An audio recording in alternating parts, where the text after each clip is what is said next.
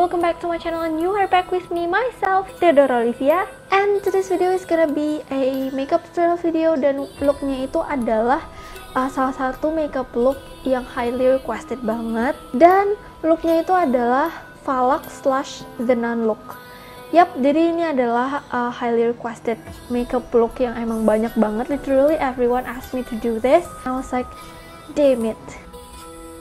Jadi sebenarnya uh, makeup look The Nun slash Falak ini tuh sebenarnya udah di request semenjak film The Nun keluar. I don't know when was that. Tapi pokoknya semenjak film The Nun itu keluar, banyak banget yang request aku. Dan to be really honest with you guys, sebenarnya aku tuh bener takut sama yang namanya The Nun or Falak. Jadi tuh pas uh, beberapa orang request aku kayak mikir dong kayak gimana bikin gaya like no no no no I'm not gonna do this I'm karena aku bener takut banget dan saking takutnya itu aku bahkan pas yang film The Nun itu um, keluar for three days I cannot sleep. Like bener-bener I didn't have a good night sleep gitu loh. Saking takutnya padahal aku nggak lihat posternya The Nun. Aku nggak lihat. Pokoknya apa pun yang connected or related to The Nun or Falak itu aku nggak lihat sama sekali tapi aku berasa takut itu.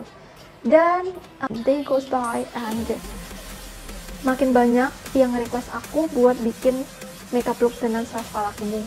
Jadi uh, berpikirlah. Seorang Theodore Olivia nah karena makin banyak yang request itu aku makin lama kayak makin tertantang walaupun aku tuh takut. Aku tuh tertantang kayak I have to try this tapi deep down in my heart aku kayak bisa gak ya? Kayak kalau aku bikin apa aku nggak takut apalagi aku kalau makeup biasanya tuh malam-malam. Nah aku mikirnya kayak gitu. Dan akhirnya this day on this video aku akhirnya meniatkan diri buat bikin makeup look dengan slash palette ini.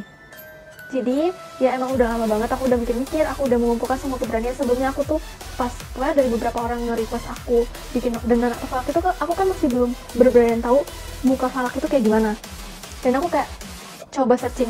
Abis ngetik namanya aja tuh aku kayak holy shit no I'm, I'm not gonna do this like aku langsung close bener-bener langsung close. Bener-bener gak berani buka sama sekali. Tapi uh, akhirnya aku udah ngumpulin semua keberanian buat pelan-pelan searching. Jadi aku mulai searching, mulai pelan-pelan searching kayak buka bentar abis itu close buka bentar abis itu close. Dan akhirnya aku berani I am brave enough to look at the nun or picture. Dan akhirnya you are here with me you are watching this video today di mana aku udah lumayan berani buat bikin makeup look ini.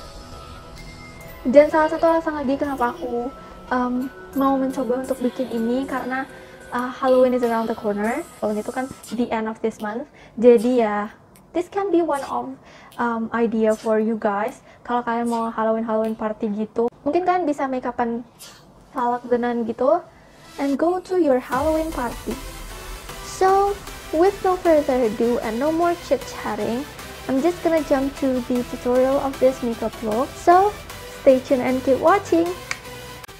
First thing first aku pakai DD cream dulu ini dari Skin Talk. Ini buat ngebantu aja buat lebih putih gitu. And then aku blend pakai beauty blender dari Masami Shuko. Aku pakai concealer dari Beauty Tricks dan aku apply di under eye aku seharusnya sebelum di cream aku tadi lupa di sini aku pakai lem bulu mata buat tutupin alis. Cara apply-nya di apply searah dengan arah alis kita jadi dia lengket. Terus aku pakaiin bedak ini tujuannya supaya lem yang tadi itu um, jadinya nggak lengket lagi gitu.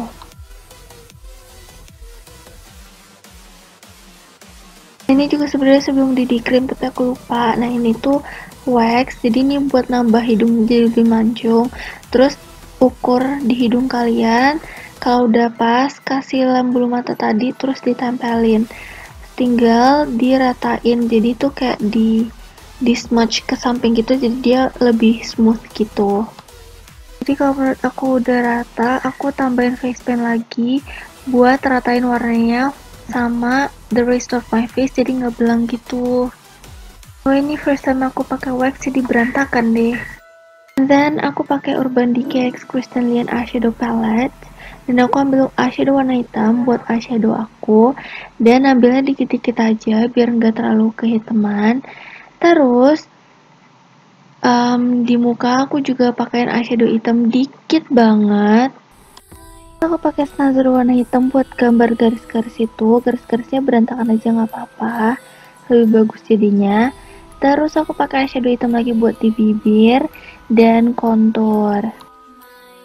Masih belum puas aku ambil face paint terus aku splash ke muka gitu. And last aku nambahin detail yang menurut aku kurang. And I'm done.